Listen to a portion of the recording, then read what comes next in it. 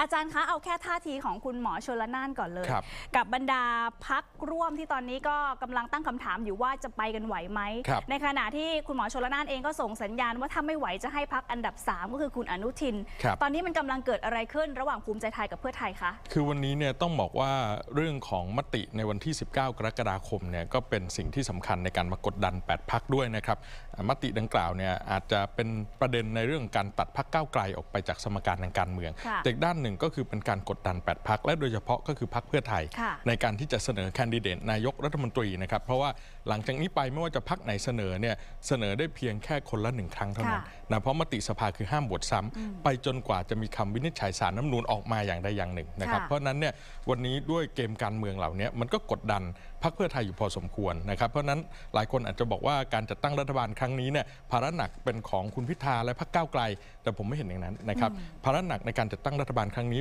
ตกอยู่กับพรรคเพื่อไทยค่ะนะเพราะพรรคเพื่อไทยต้องเผชิญกับปัจจัยและเงื่อนไขหลายอย่างเลยนะทั้งค่ะเรื่องมติวันที่ 19 กรกฎาคม ทั้งเรื่องของแคนดิเดตนายกนะครับซึ่งวันนี้เราอาจจะเห็นแคนดิเดตนายกมีอยู่ 9 คนนะแต่เอาเข้าจริงเนี่ยที่เหลือใช้งานได้เนี่ยมีอยู่แค่ 4 คนเท่านั้นค่ะนะก็คือคุณอุ้งอิง คุณเศรษฐาจากพรรคเพื่อไทย คุณอนุทินจากภูมิใจไทย แล้วก็พลเอกประวิทย์จากพลังประชารัฐ และยังรวมไปถึงการเมืองนะที่เกิดขึ้นในอ่าระหว่างพักร่วมรัฐบาล 8 พักนะทั้งในฝั่งของสว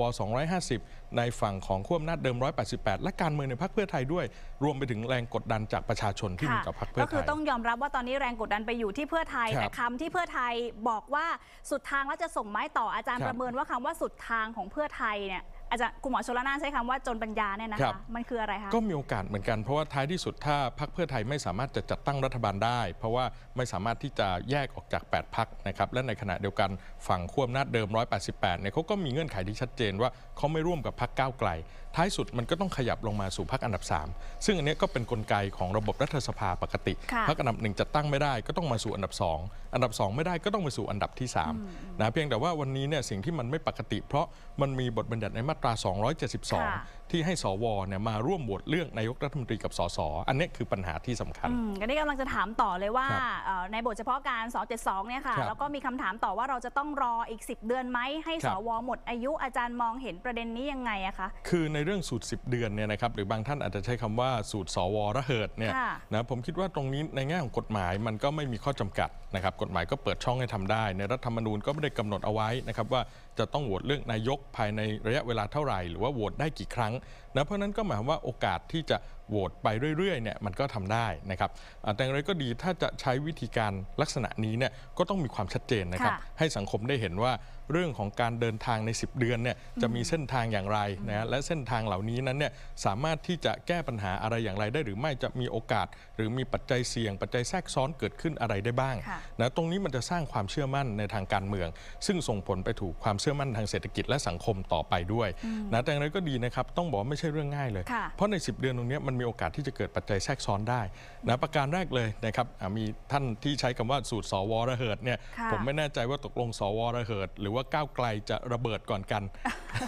นะที่บอกอย่างนี้เพราะอะไรเพราะมันมีโอกาสที่จะเกิดการยุบพักก้าวไกลค่ะเป็นไปได้นะครับ เพราะตอนนี้เนี่ยก็มีเรื่องของคดีที่อยู่ในศาลก็มีนะหรือแม้กระทั่งเรื่องของการที่จะมีผู้ร้องหลังจากนี้ด้วย ส่วนปัจจัยแทรกซ้อนประการที่สองค่ะก็คือคำวินิจฉัยสารรัฐธรรมนูญ นะที่มีผู้ยื่นเรื่องผ่านผู้ตรวจการแผ่นดินไปเนี่ยนะครับอ่าว่าจะมีการวินิจฉัยอย่างไรต่อมติเรื่องค่ะการห้ามโหวตซ้ำนายกเมื่อวันที่ 19 กรกฎาคมที่ผ่านมานะประการที่ 3 ก็คือเรื่องการตีความอำนาจหน้าที่สวครับในอีก 10 เดือนข้างหน้าเนี่ยนะครับ สวจะหมดวาระนะแต่ตอนนี้ก็เริ่มมีความพยายามในการตีความว่าค่ะหมดวาระ แล้วสวรักษาการต่อ แล้วสวจะมีอำนาจหน้าที่ในการมาร่วมโหวตเลือกนายกได้อีกหรือไม่ค่ะเพราะฉะนั้นทั้งหมดทั้งมวลตรงนี้เนี่ย มันเป็นสิ่งที่เราเห็นได้ว่าไม่มีใครสามารถยืนยันการันตีได้นะครับว่าเมื่ออีก 10 เดือนข้างหน้าเนี่ยจะได้นายกรัฐมนตรีอย่างที่ประชาชนอยากเห็นจริง อ่าคืออาจารย์กำลังจะบอกว่า 10 เดือนเนี่ยมันไม่ได้มีแค่ปัจจัยเรื่องของครับการรอให้สวหมดอายุนะ ใช่ครับมันมีอีกหลายปัจจัยมากในทางการเมืองที่จะต้องจับตาด้วย แล้วก็ครับอาจจะต้อง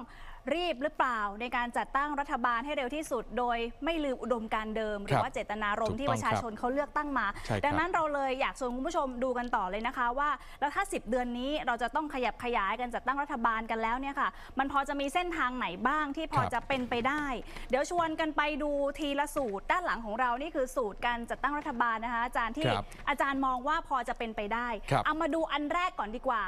อันแรกเนี่ยแน่นอนนะคะ คุณผู้ชมก็คือหน้าตาของ 8 พักร่วมนะ บวกกับเสียงสวที่เขาบอกว่าเขาจะมารอหนุนอยู่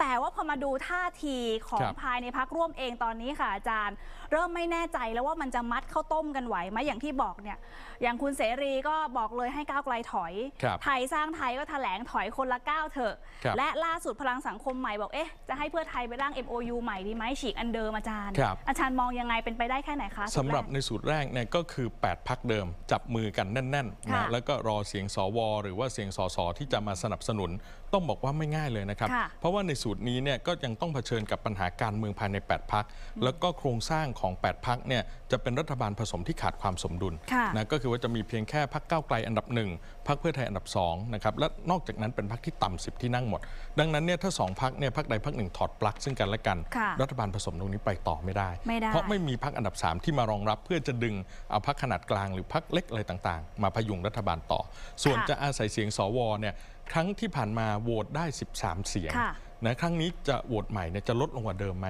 ส่วนสสเขาก็มีเงื่อนไขในฝั่ง 188 อยู่แล้วนะครับว่าถ้ามีพักก้าวไกลอยู่ด้วยเขาไม่ร่วมรัฐบาลค่ะอันนี้ก็คือปัญหาใหญ่แล้วก็จะเสนอชื่อคุณพิธาซ้ำณวันนี้ยังทำไม่ได้ จนกว่าต้องไปฟังสารรัฐธรรมนูญว่าจะวินิจฉัยอย่างไรอ่าแสดงว่ามัดรวมกันแบบนี้จะได้เสียงสวเพิ่มสสเพิ่ม โอกาสยาก ไม่ง่ายเลเป็ยนโอกาสก็คือที่ยากยังอยู่มากที่ 312 เสียงอยู่แบบนี้ครับ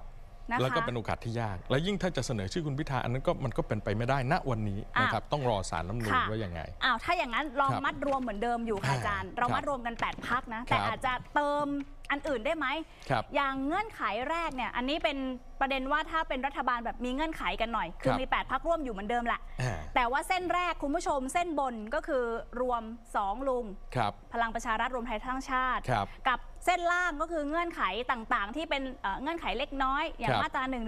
แล้วก็อ่า เงื่อนไขเฉพาะแต่ละพักเองค่ะครับอาจารย์ที่จะถอยในประเด็นรายละเอียดต่างๆ รายละเอียดค่ะ ซึ่งสิ่งเหล่านี้เนี่ยไม่ง่ายเลย เพราะว่า ถ้าเกิดขึ้นตามสูตรที่2เนี่ยต้องบอกว่าโมเมนตัมทางการเมืองจะเหวี่ยงกลับไปสู่พรรคก้าวไกลค่ะนะโดยเฉพาะในประเด็นมาตรา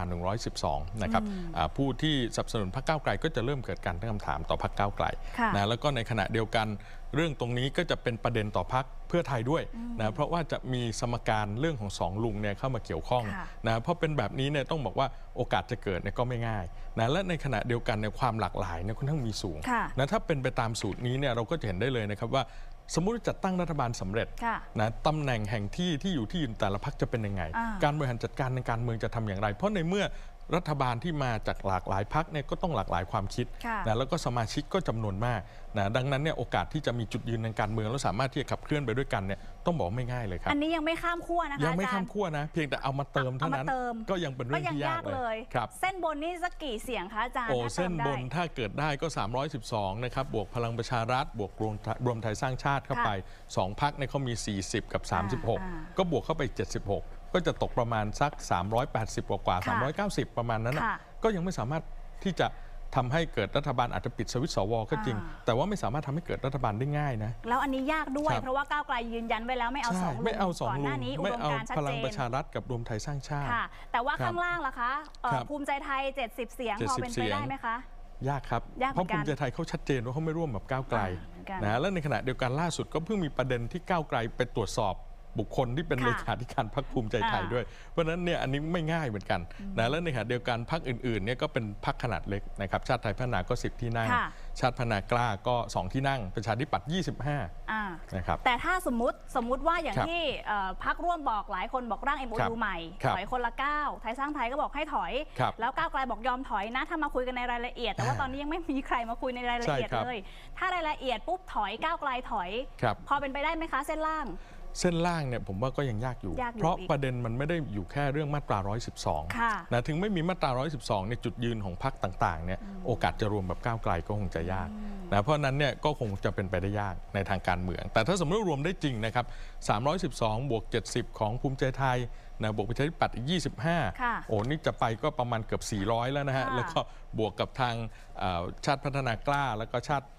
ไทยพัฒนาอีกนะครับ เพราะนั้นเนี่ยรวมกันในเกือบ 400 แต่ประเด็นมันอยู่ที่ว่าอย่างที่บอกว่าการไปรวมเนี่ยเขาจะรวมกันได้หรือไม่ แล้วถ้ารวมแล้วเนี่ยรัฐบาลที่มีถึงประมาณร่วม 400 เสียงเนี่ยค่ะปิดสวิตช์สวได้จริงอ่าแต่ว่าสุดท้ายแล้วการบริหารจัดการทางการเมืองจะทำยังไงจะทำยังไงอันนี้คือโจทย์ใหญ่ที่จะเดินต่อโอ้ตั้งก็ยากแล้วเดินต่อนี่ยากกว่าค่ะเราต้องอธิบายประชาชนครับอีกก็ยากอีกดังนั้ครันบก็เลยเป็นคำถามต่อมาว่ามันครับอาจจะมีการข้ามข้ามขั้วขั้วกันได้เป็นไปได้ครับเพราะว่าในเมื่อมันมัดรวมกันยากครัมับนก็อาจจะต้องแยกกันไปใช่เติบโตหรือเปล่า อาจจะไปสู่นะคะการข้ามขั้ว ของพรรคเพื่อข้ามไทย ขั้วแต่ว่าแกนนำคยัรังบเป็นเพื่อไทยใช่ครับ สูตรนี้เป็นยังไงคะอาจารย์คะ ถ้าข้ามขั้วโดยแกนนำเป็นเพื่อไทยแน่นอนว่าเพื่อไทยก็ต้องตอบคำถามต่อสังคมเนี่ยเยอะเหมือนกันในเรื่องของความชอบธรรมทางการเมือง ในการที่จะขยับขึ้นมาเป็นพรรคแกนนำแล้วไปข้ามขั้วเราจะเห็นว่าปรากฏการณ์ที่เกิดขึ้นนะครับในการที่พรรคเพื่อไทยเชิญบรรดาขั้ว 188 มาพูดค่ะ คุยเนี่ยก็มีอ่าเสียงวิพากษ์วิจารณ์เนี่ยค่อนข้างกว้างขวางนะแต่ว่าจริง ๆ ก็ต้องบอกว่ามันเป็นปกติของการเมืองไทยอะค่ะที่เราอยู่กับคำว่าอ่าพวกเดียวกัน แต่คนละพักกับพักเดียวกันแต่คนละพวกอ่านะเพราะฉะนั้นเนี่ยอย่าลืมว่าพักที่เพื่อไทยเขาเชิญไปคุยเนี่ยเขาก็คือพวกเดียวกันมาก่อนค่ะแต่วันนี้เขาอยู่คนละพักอ่าไม่ว่าจะเป็นรวมไทยสร้างชาติ พลังประชารัฐภูมิใจไทยร่างเง้าเขาก็มาจากไทยรักไทยกับพลังประชาชนค่ะนะเพราะฉะนั้นตรงนี้เนี่ยจึงเห็นได้ว่าเขาพูดคุยกันได้ง่ายกว่า หลายคนเมื่อไปที่พักเพื่อไทยบอกนี่เหมือนกลับบ้านเก่า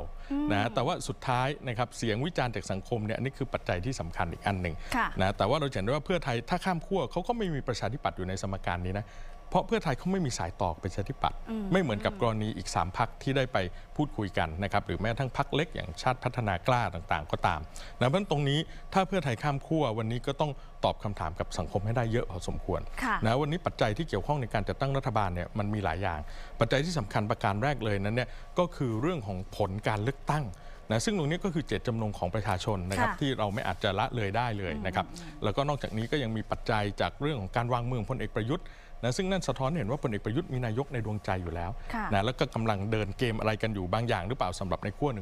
188 ปัจจัยในเรื่องของคุณทักษิณกลับบ้าน ซึ่งคุณทักษิณกลับบ้านได้ราบรื่นที่สุดก็ต้องพักเพื่อไทยเป็นแกนนำในการจัดตั้งรัฐบาลนะแล้วก็นอกจากนี้ก็ยังมีปัจจัยจากเรื่องการเมืองแบบมวลชน